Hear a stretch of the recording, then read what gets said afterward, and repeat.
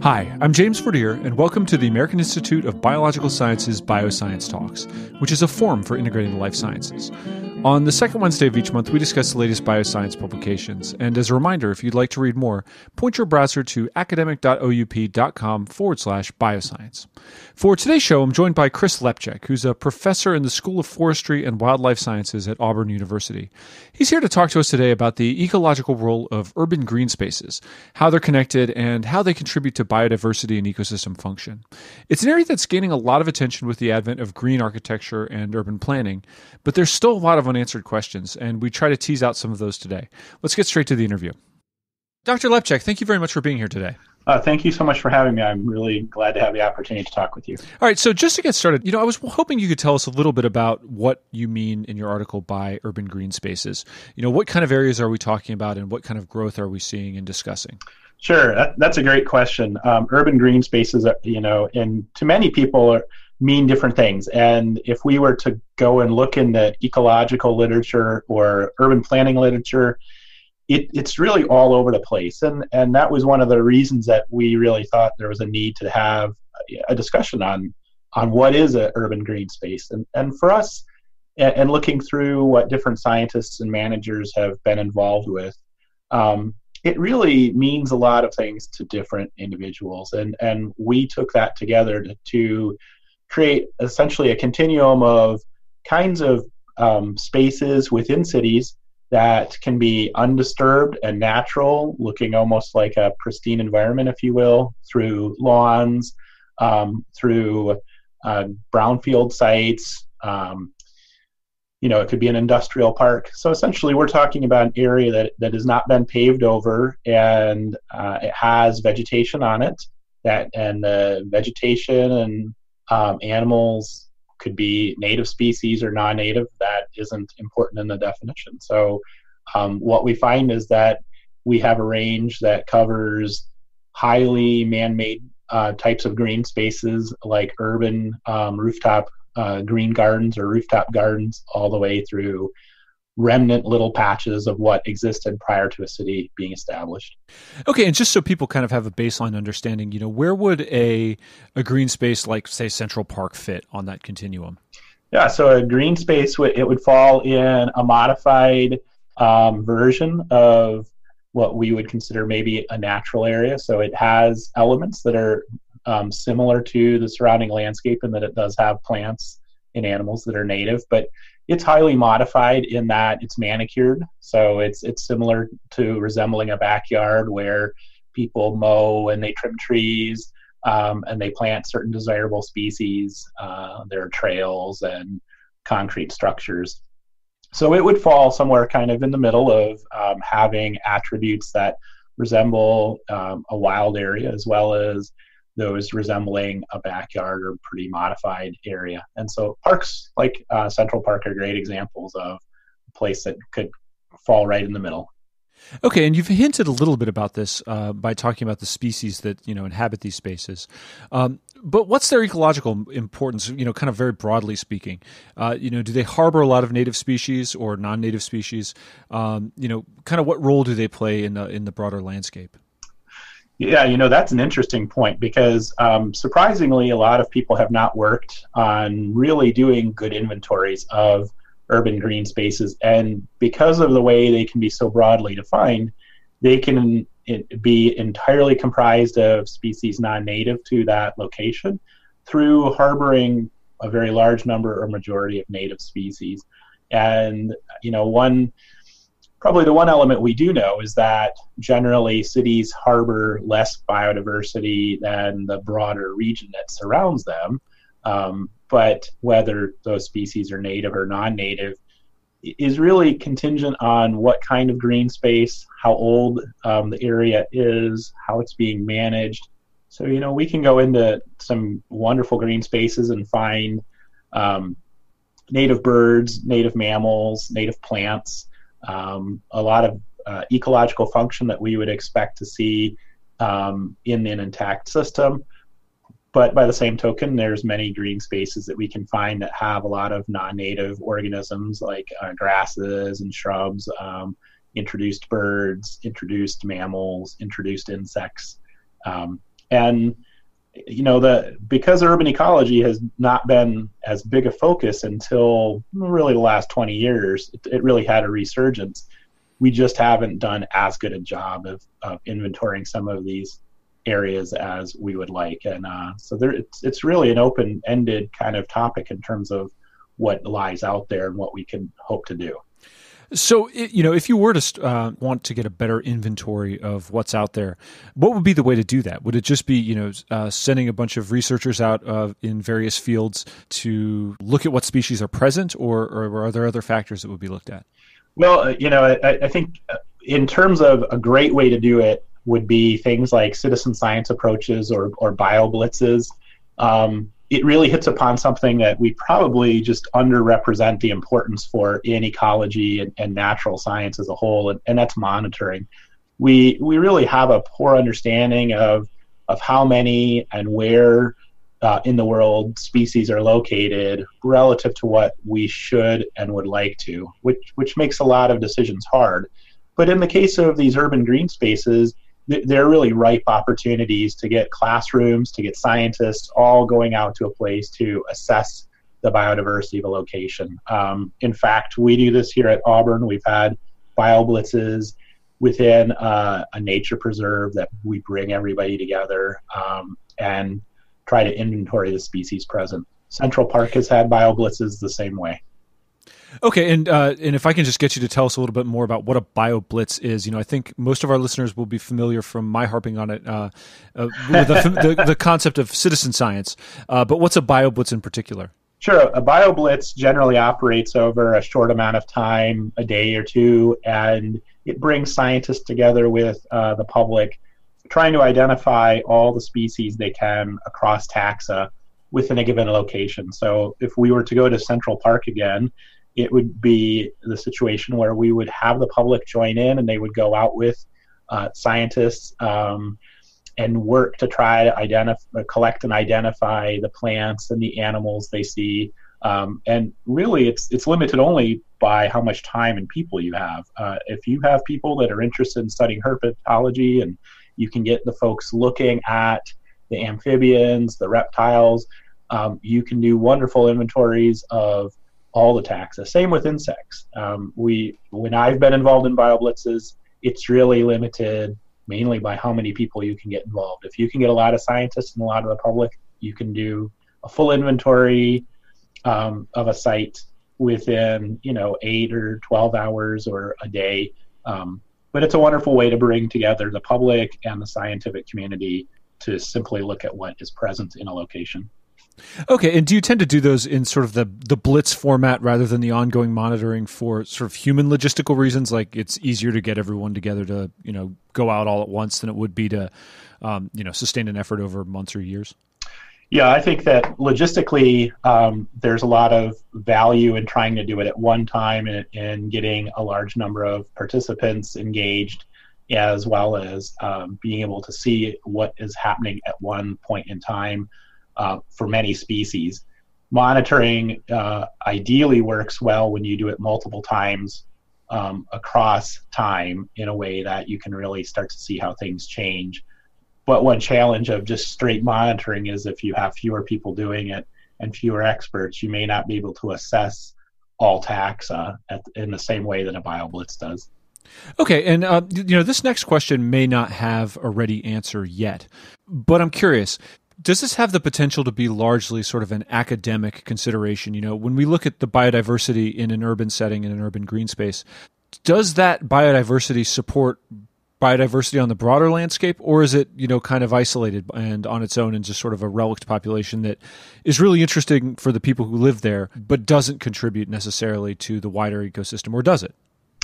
Well, I mean, that, that's actually exactly some of the questions we need to know more about. We do know that uh, urban green spaces serve as uh, stopover or refueling sites for migratory birds. Uh, we know that they uh, do serve as habitat patches for species that um, can disperse across the landscape. But whether or not a, a given location would be a place that operates like a sink where we're pouring species from the outside in and or individuals of a population in and, and they're not really going to sustain a population in that green space is still fairly unknown for a lot of species. Um, and the importance of that is that as we continue building our cities out and urbanization increases, the green space present in a city actually has great importance of potentially mitigating against regional effects on populations. It also adds to um, the fact that, you know, if you have no green space in a, in a city, what happens to species that either need to move through or use that habitat? Are they simply displaced? Um, is there no habitat left? Is there no way to connect across? Um, so I think that realistically, urban green spaces, we know they serve important functions for biodiversity. We know they contribute to species in the region, but on a species by species basis, especially once we start moving outside of either some better known um, wildlife species or plant species, we don't have as good of an understanding. So I think again, you know, it's just it's an area that may seem like it should be an obvious place we would look, but um, urban ecology, eh, especially in the United States and Canada, has just not been a huge focus until really the um, 21st century. All right, so it could be the case that you know there's a large migratory bird species that uses an urban green space as a stopover, and we know about that one because it's a big flock of birds and we see it. Uh, whereas there might be some small, less charismatic lizard species um, that we don't know about because it's not as obvious to the eye. That's exactly correct. Um, do we have any sense now of you know kind of what level and type of connectivity matters? You know, is there any has anyone done any work to evaluate uh, you know how far apart green spaces can be from one another before it impedes mo- uh, movement of species or or anything along those lines, or is that still yet to be done? Well, you know that really hits upon kind of how how green spaces overlap a broader landscape ecology framework in that understanding interpatch distances for um, mobile species, plants or animals, very important. And w- we have done that for species in agroecosystem settings, in forest uh, settings, but there's there hasn't been near as much done in terms of how far apart urban patch, urban green space patches are apart from one another um, and certainly not for the majority of species. So, you, you know, we it, we may work on several birds within a study and look at interpatch distance of the green spaces in a given city, but that hasn't been done for a large number of animals to date. And uh, less so, I think, on plants. That's an interesting, uh, you know, sort of deficit because you know I, I, think back in bioscience, you know, the numerous studies that we've published on the effects of, say, a border wall or even a roadway, intermittent flooding, uh, you know, and how that affects uh, species movement, but it hasn't really occurred as much the research in terms of um, of interpatch movement. Yeah, I, I think I think there's several reasons. I mean, I think we are gaining now better tools to actually do that. So there's been, you know, a large uptick in our ability to do conservation genetics and look at um, flow or, or, movement from a genetic perspective. Uh, the ability to actually tag animals with geolocators um, or GPS collars and the size which now we can put those on smaller and smaller animals. All of those tools are allowing us to actually understand movement of animals in fundamental ways that we didn't have 10 or 20 years ago. So um, I, I, think it's not that we haven't thought about it as much as there's limitations in um, some of the technology or some cost limitation. But um, I, I actually am very kind of hopeful that all of these new advances really provide the opportunity now for us to ask and answer questions about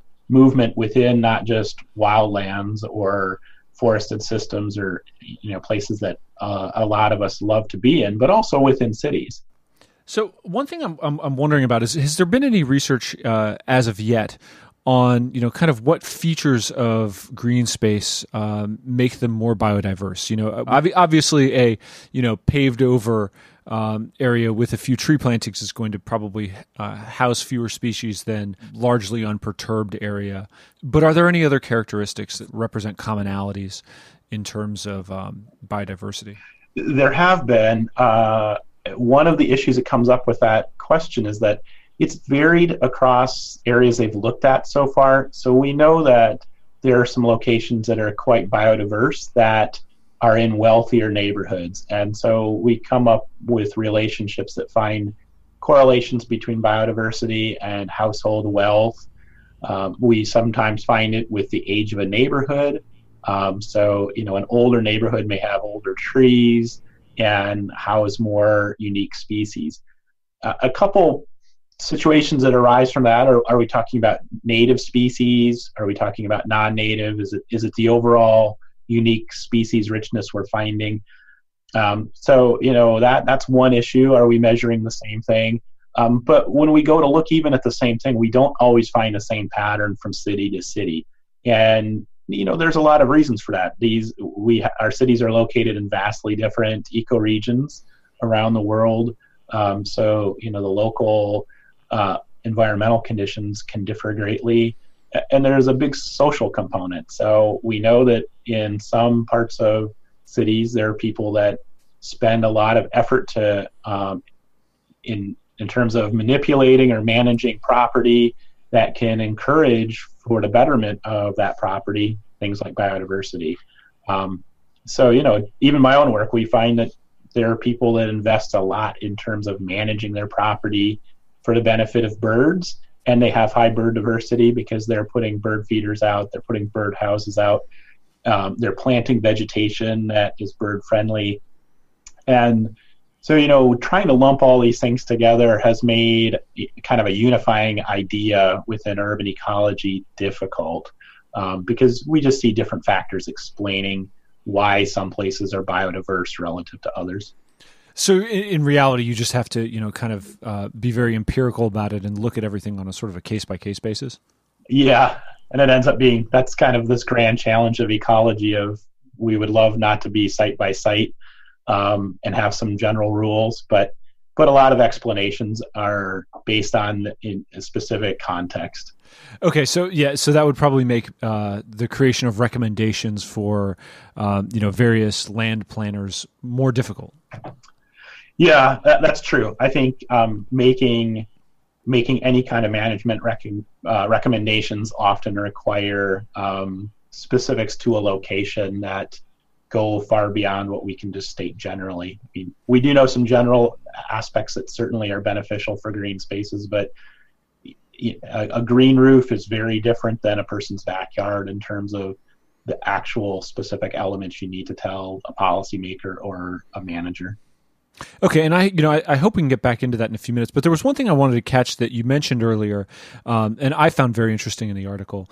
But I was hoping you could tell us a little bit about ecological traps um, or population sinks. What are those, and in, in terms of urban green spaces? Right. Well, th- there is a nuance in those terms, and, and I don't know that we need to go to the detail of the of the exact difference so much as we have locations in cities that they look like they should be um, qual- high quality habitat, where they are good habitat, or locations where we find an organism. Um, and the reality is, ultimately, it's not beneficial for their population dynamics because that given location would not be able to support the population in the long term. So uh, we, we could think of a bird species, for instance, using um, a green space patch, and it occupies that patch every year um, but it's not self-supporting within that patch. So there's not enough reproduction to meet a continued population without input from an outside source. Um, and, and so it causes that situation. It, the, the nuance to describe the difference between um, a trap and a sink really comes down to understanding things like habitat quality and aspects about the species um, that you're looking at relative to other patches. But at the end of the day, we could think of something like um, a small perching bird, let's say a, um, an American robin. Is it living in a habitat patch and you see it year after year after year, but that patch really doesn't have the resources or the uh, or it being enough large enough size that allows that species to actually reproduce at a rate that year after year it could replenish itself with outside without importing individuals from the outside. So this could be a case in which you know the the patch has some sort of characteristics, uh, visually or otherwise, that make it somewhat appealing to some individuals of the species, but when they actually go there um, and and stop over there or stay there, there's not enough food resources or a large enough population to support population growth or sustainment. And uh, and it does pose a bit of a conservation challenge in that you still have something of a habitat and you still have individuals there, so it's not meaningless. It's just that it may not be the level that uh, contributes to the overall population that uh, would be beneficial. And you know, what would an example of that be? Is is it is it possible to draw any sort of uh, generalities, you know, on the urban landscape, or are they just you know of many many types? Well, I think we know that for many species, this the, simply the size patch you have is a big um, contributor to success of many different measures of a species. So, you know, if we're talking about a very small patch, you know, on the order of a half hectare or hectare you know, or, or something like a, an acre of a backyard, and that, and that's the only forested area, you know, within a half kilometer or a kilometer. Our species going to be successful in that patch um, in terms of producing a surplus or maintaining their population size. You know, realistically, that's so small that it wouldn't it wouldn't factor in at all, and it would be, you know, one of these sinks. Um, and and so you know the cutoff of what pop of what of how big an area is um, really depends upon the species. But we know in a lot of forested landscape ecology studies for birds that the patch size does matter for whether it's going to be a source or a sink. And then you get into other factors that relate to that habitat. So, is there enough core area inside? Does it have the um, food resources either within that patch or nearby? Um, so we, we have some general guidelines uh, from landscape ecology and foraging ecology that really give us some idea that, that there are thresholds. Um, but you know the problem gets to that we haven't looked at a lot of species in detail to answer this question. I mean, there are some very good ones in terms of some birds of prey and some passerine studies, but more could be done. So it's a case, you know, in which if you were trying to manage for greater biodiversity, you would try to manage toward those thresholds, um, but they're not yet known for enough species for, uh, you know, that to give a kind of complete and holistic picture to policymakers, et cetera. Yeah, I mean, this is where you get into that situation. You know, more can be better, but but how much more?